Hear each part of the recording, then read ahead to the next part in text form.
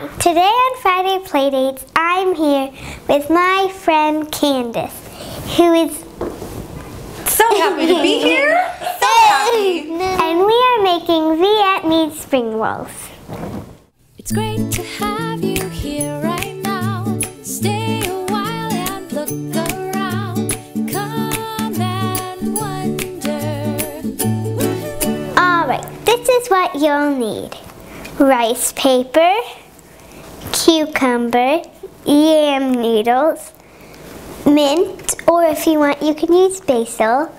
You'll need shredded carrots, shrimp, and warm water. And if you want, you can um, shred your vegetables by yourself using a mandolin or a cheese grater. Is it coming out the bottom? Yep.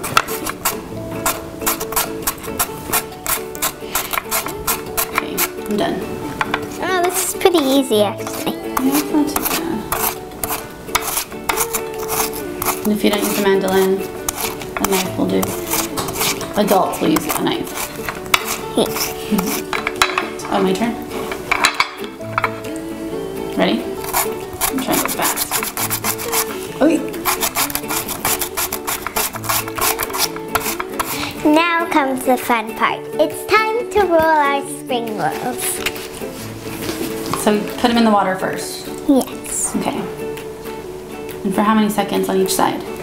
About five seconds on each side. Okay.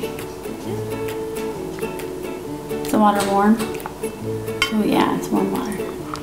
Okay.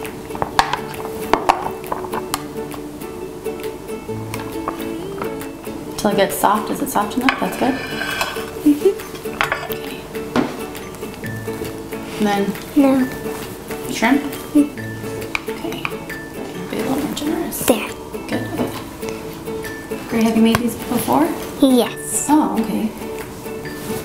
And do you put all the same ingredients every time you make them? Almost all the same ingredients. Hmm. Let's see. A little more cucumber. Ooh, avocado would be really good too. Ooh, that one came out good. Super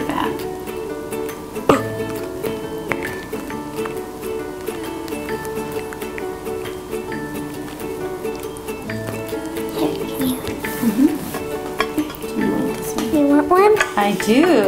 I'm actually gonna put a little bit of sauce on mine. Do you like it?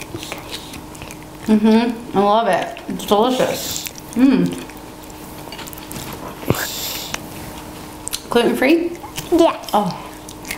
Excellent. To get this healthy recipe and more, visit our blog, FridayPlaydates.com. Bye. It's